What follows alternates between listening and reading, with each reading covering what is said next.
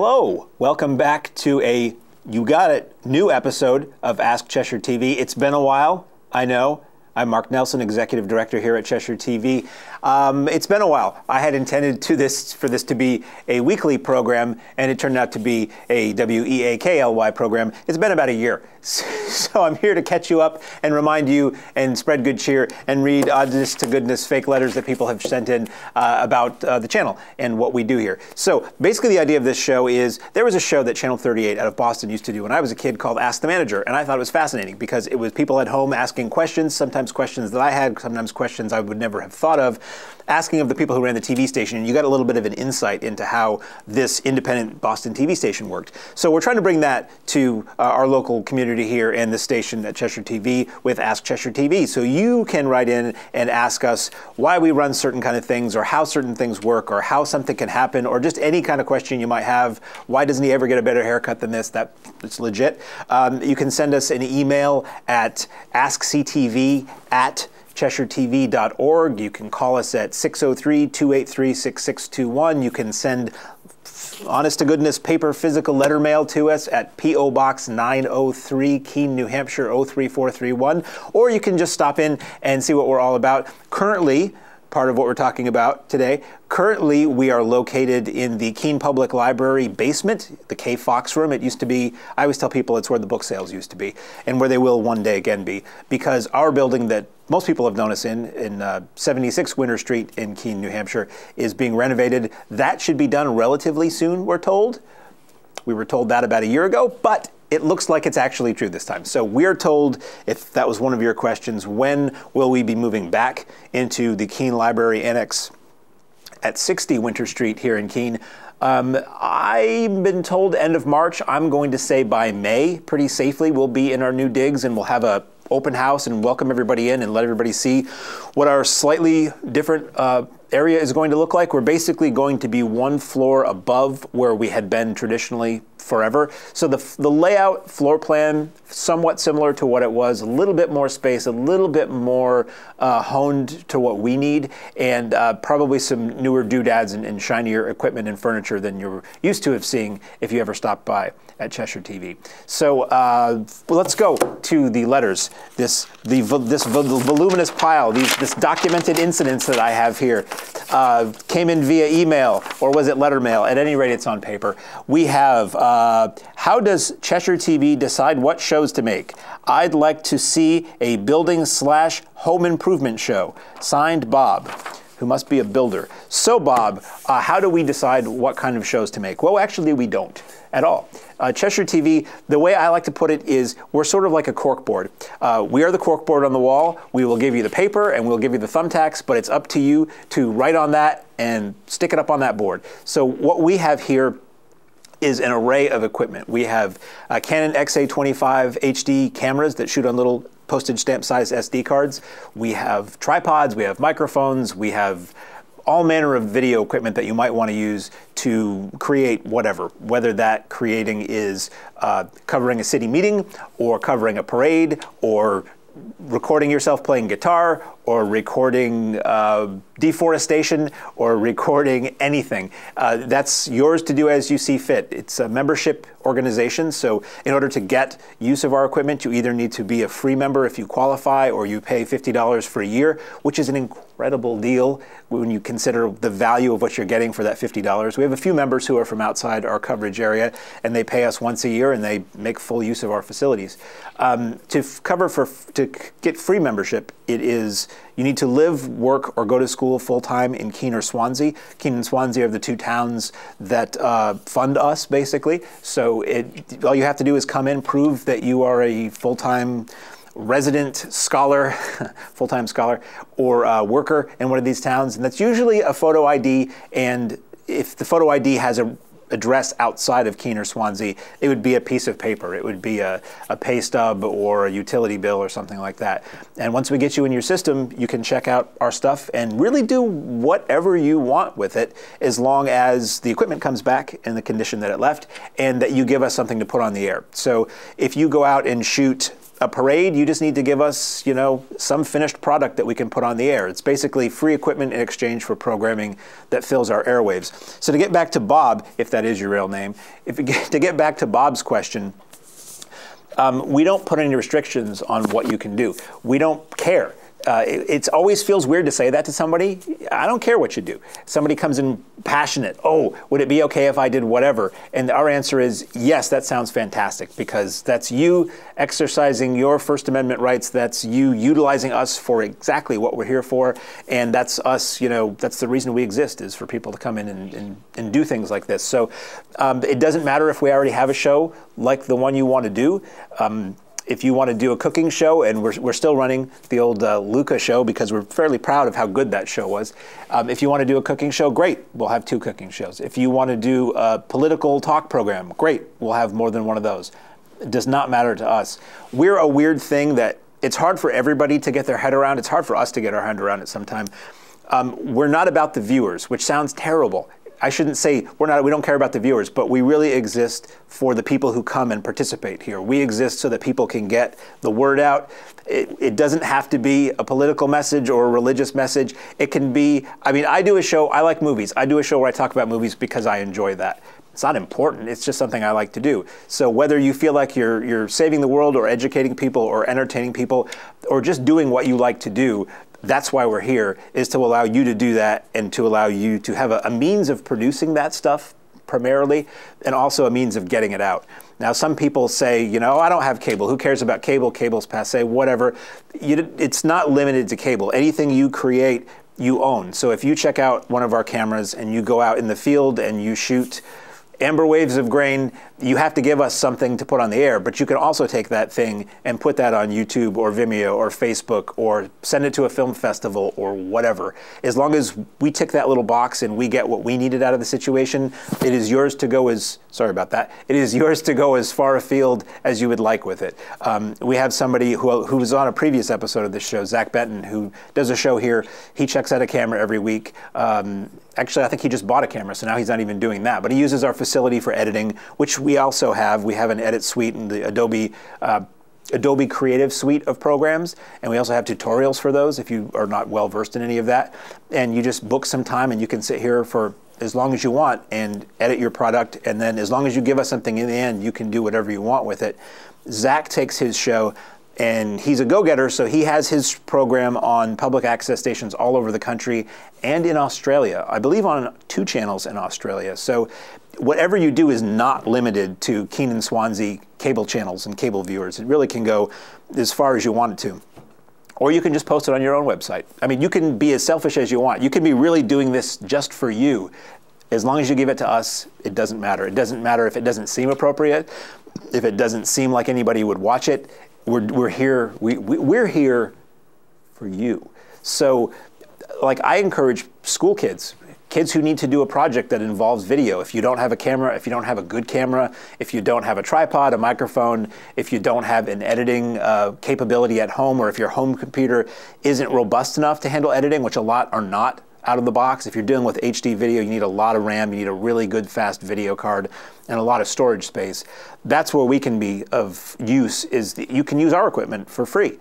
And if you're using our equipment for a school project, it might seem dumb that this video about tadpoles would be given to us to air on TV, but yeah, we'll run that. And the duration doesn't matter either. We're structured like a regular TV channel. So there's always, as the slogan says, there's always something on everything starts on the half hour or the hour. So a lot of what we run are half hour shows or hour long shows or 90 minute presentations or two hours or whatever. But none of those are strictly that amount of time. A 30 minute show is never 30 minutes if it's commercial TV, a 30 minute show is barely 20 minutes these days. Um, we take little things and we fill the gaps. We call them filler. So if anybody does something that's short, that's where we put those. So we have people who are musicians and they'll do a music video or they'll do uh, a joke or a little sketch or whatever. And it's this little standalone thing that doesn't fill a half hour.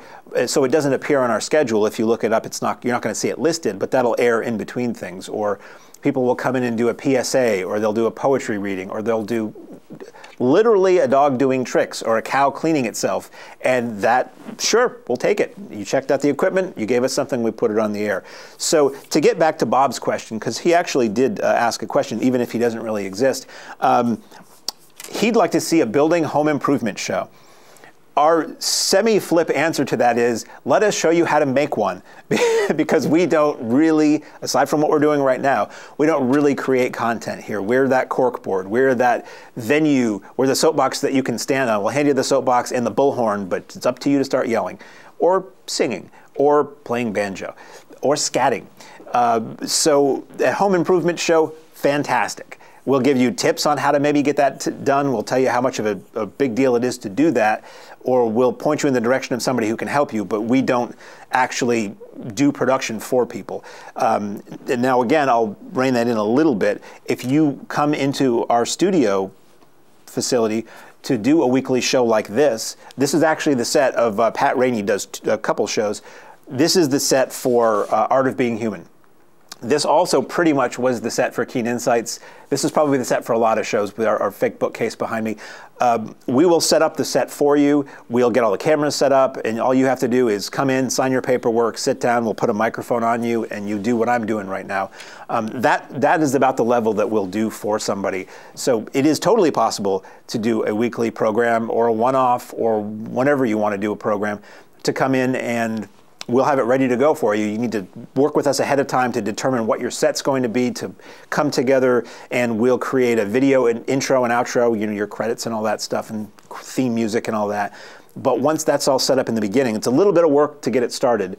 But once it's set up and you're doing a regular thing, you just show up and blab like I'm doing for however long you do every week, and you got a show. So if you say we should have a home improvement show, well, we don't really make them. So we, we don't have much say in that. Uh, I'd love to see a home improvement show on the channel. I'd love to see any kind of variety on the channel. Every time somebody does something new, it's exciting for me because it's somebody doing something, it's somebody utilizing us and giving us, you know, justifying our reason to exist and providing something interesting that's locally generated, which is the big difference between us and any other channel, is that the majority of what we air is local origination. It's stuff people you may run into, uh, hopefully not with your car, uh, locally who create this stuff.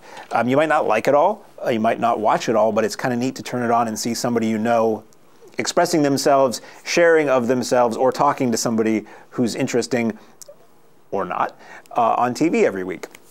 So to say that there wouldn't be a home improvement show if somebody local didn't make it Again, not 100% true. We also have uh, what we call imports. There are various uh, organizations online where you can upload a show that you do locally, and then people from another public access station can get those. There's one called pegmedia.org, that's probably the oldest one, and there's also a thing we have access to called the TelVue server. It's a video server for public access stations around the country where you can upload your shows, and by doing that, you're saying, okay, folks, feel free to air this and then you can also pull down shows. So occasionally you'll see stuff on this channel that are from stations in Massachusetts or other New Hampshire stations or around the country. That stuff we've pulled down to basically give a little bit of variety to our programming so it's not just the same local shows over and over and over again, and also to give you the idea that this is the kind of thing you can do. So if we had an automotive repair show that we were pulling from Fitzwilliam, not Fitzwilliam, from Fitchburg, Mass. And then if somebody local started doing one, we probably would bump that not local one and air the local one in favor of that. Um, early on, we aired some cooking shows before Luca did his thing. And then when Luca came along, we just kept Luca on because, hey, it's a local guy. You can go taste the stuff the guy is actually doing on here. Um, so you will see some non-local programming on occasion, and that's just something we pick to sort of fill out the airwaves, give it a little variety, and give you the idea of what you could do if you choose to do so. Now, I know not everybody wants to make TV. Most people just want to watch TV, and that's fine too. Um, we're here for both of you. As much as I say we don't care about the viewers, we kind of do care about the viewers, but we're not going to tell somebody they can't do something ever, that, but certainly not because we think people won't like it. And we're not going to we're going to soothe anybody's nerves about them thinking what they're doing might not be liked by anybody because we say, hey, people do watch the channel. There is an audience for everything, and we exist so you can do this, not so that other people can like it, basically. So we thank uh, Bob, Bob, if that's your real name, for that letter. Um, I have another one here, also black ink on white paper, that says, Where do you get the incredible variety of shows that Cheshire TV airs? Signed, George from Swanzey. P.S. Just curious. Well, curious, George. Uh, I think I already answered that question because I'm rambling a bit. Uh, the variety of shows come from basically three sources until I've discovered there's a fourth. You have local folks who come in and check out our equipment and create shows that they submit to us, or they come in weekly and do a show in the studio like this. You have people who just submit things out of the blue. We have a few people who send us DVDs of their programs, or they um, stop in and hand us a stack of DVDs of shows that they have something to do with.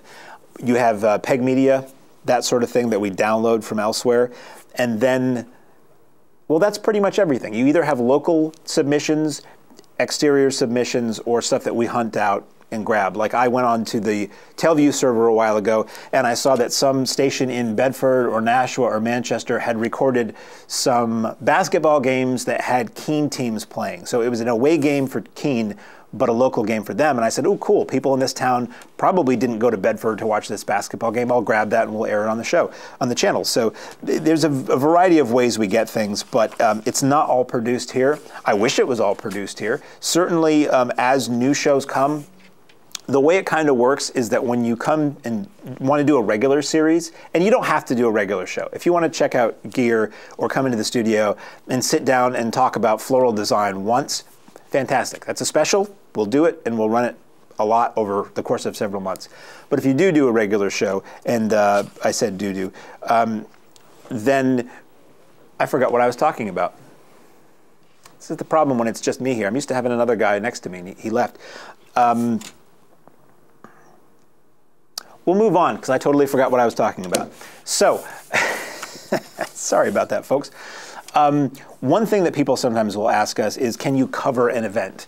And uh, the answer the answer is, is, sort of no. We don't really. I always like to say we're not the action news team. We're not a news organization, so we don't go out and just shoot footage of something that's happening and people milling about, and then cut it together and add voiceover and all that stuff. Uh, Keene State College News does that. Uh, KSC TV News has been doing that for years, mostly college focused, but they, they got in the community too. Um, what we do if we have the staff, which currently we don't have a lot of staff or volunteers, we'll get to that a little bit later.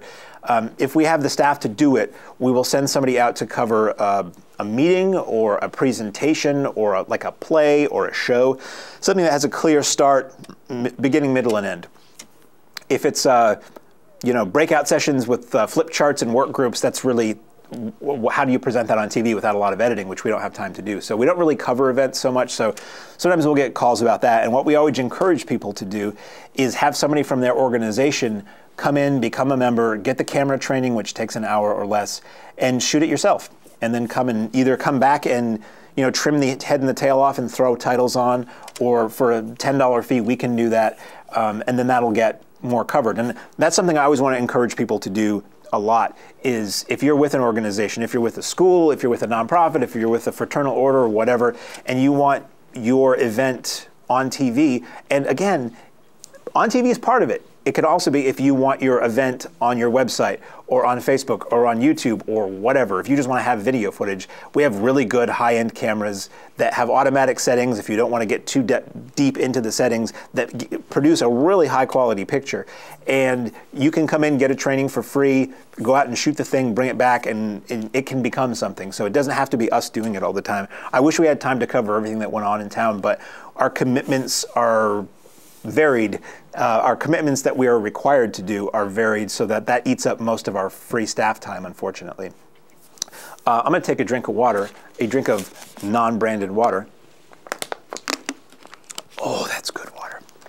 Um, speaking of nonprofits and fraternal orders and local towns and cities and all that stuff, groups, we have the Community Bulletin Board which is on channel 13. Oh, oh, that's something that's new since we last spoke. So it was always channel 8 and channel 10. Uh, Spectrum Cable nationwide changed the channel designations for public access. So, as far as I know now, if you go to any town in the country that has Spectrum Cable as its provider, the public access stations are now on 1301, 1302, and 1303. Now, there's three channels because public access is also known as PEG, P-E-G, for P for public, E for education, G for government. Some towns have a channel for each of those.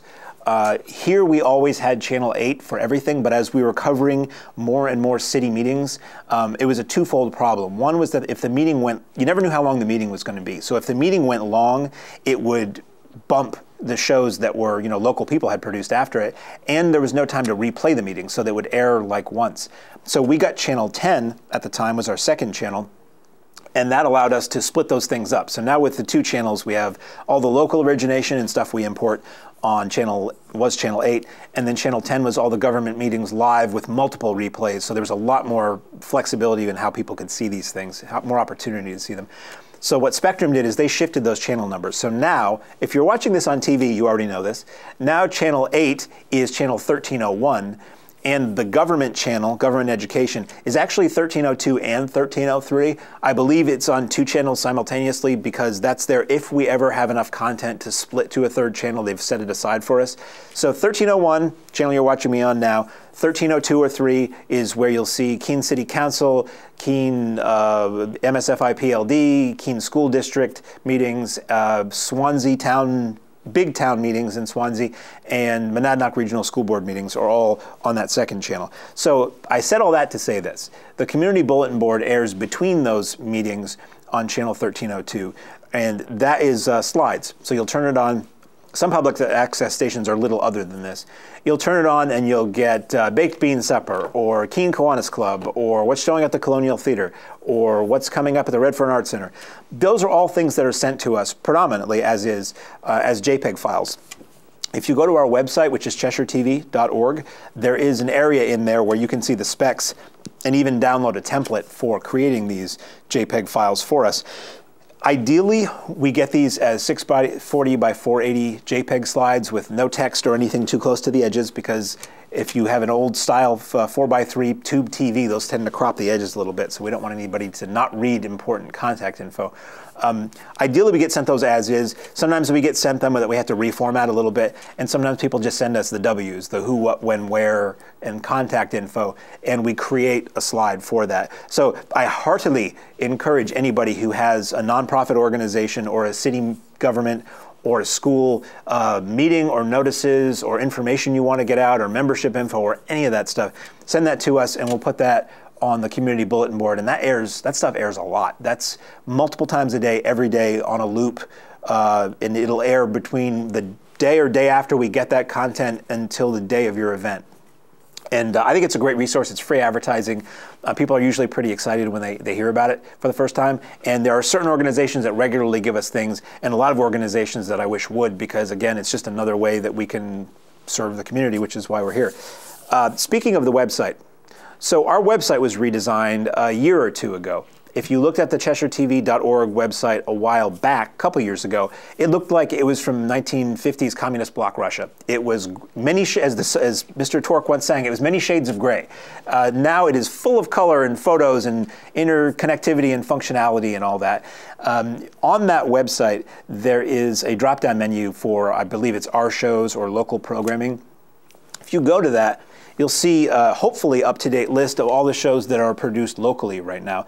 And those shows have uh, a little blurb about what the show is, and then they have a little link under them that says watch online. Now it's a little bit of a convoluted way to, convoluted way to get there, but if you do this, you can basically watch everything that these people upload to YouTube. So those watch onlines, they link to the YouTube channel for each of these shows. So we don't have streaming currently. Our streaming service has been down for really too long now, but we do have these YouTube links. So it's a de facto, if I can use a semi-ethnic word, a de facto uh, on demand for our channel. So if you can drill your way through our website to find the local show list, just about every show that's produced locally puts their stuff online. So you can pretty much watch most of the episodes of these shows. Now, some shows people will pay us uh, a monthly fee and we will upload the shows for them. We maintain their YouTube channel. So, Pat, who was just here taping on this set today, um, she left and we got her files and they're currently uploading to Peg Media, YouTube, and the TelVue server so that people in the public can watch the shows and so that people um, at other stations can air them. And hers, again, are, are shows that air nationally. She's quite popular in the Prism system in California for some reason. The educational aspects of learning music with Pat are shown in the uh, California prison system. So uh, we all get a kind of a kick out of that. Uh, we're getting close to the end of the show, but I'll see if I have anything else on my list here. Uh, da, da, da. Oh, yeah, I did have one more letter. This is uh, from uh, Gerald uh, Cons- Gerald, oh, Franklin. Uh, it says, I have a Samsung TV and I would like to, yeah, we don't fix TVs. Um, we don't fix TVs. We were listed in the yellow pages at some point for some reason by somebody who probably hates us and may or may not be dead now. They listed us as TV sales, service, sales, and repair. We never have. We don't fix our own stuff here, uh, but we get calls multiple times a week asking for TV repair, and we don't do that. So I will plead to you not to call us if your TV is broken. I'm sorry your TV is broken, but I will also say if anybody out there knows where somebody uh, can get a TV serviced in the greater Keene, uh, Swanzey area, uh, please actually contact us because I keep telling people who call us and we disappoint by saying we don't fix TVs. I say, if you find out, let us know so we can tell everybody else who's going to call. We haven't figured out a way to take off that, that yellow, yellow pages listing. So I would love, it used to be Gherkins, but they went out of business. I would love to be able to say, oh no, you want to call uh, Joey's TV in Littleton. He'll, he'll, he'll, Joey will take care of you. But uh, right now we don't know. We, we really don't know, and we don't fix TVs. And uh, I hate to disappoint people so often, but it's like, boy, that, yeah, LG is a great brand. We don't fix TVs. We don't. We don't fix TVs. Uh, a couple minutes left. Do, do, do, uh, oh, here's a good point that uh, Ernie brought up earlier. So we get complaints on occasion, very rarely, but once in a while we'll get a complaint about the content of a show that we air on the channel. And as I explained the corkboard principle before, um, if you see a show on our channel whose point of view you don't like or disagree with, um, it's not us. It's uh, everybody who does a program puts disclaimers at the beginning and the ends of their show that say the following show does not represent the opinions of Cheshire TV, its employees, staff, board of directors, and all that. So I will repeat that. The uh, opinions that you see on the shows on this channel are, are, that of the person who makes them. We just put them on the air. It's a little bit different than commercial TV in that way is that we don't pre-screen anything, we don't censor anything. If there's what we call adult content, we trust that the person who makes that is going to tell us that, and we put it on after 10 p.m., between like 10 p.m. and 4 a.m. when there's very little chance a child will be watching, and we have additional disclaimers on them.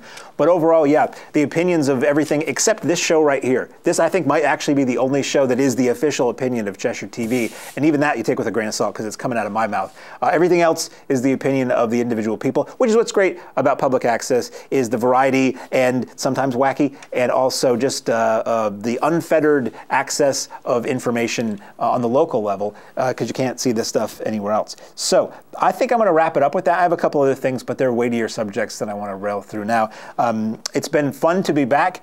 I strongly encourage anybody, even if it's foolish, even if it's a brownie recipe, because I love brownies.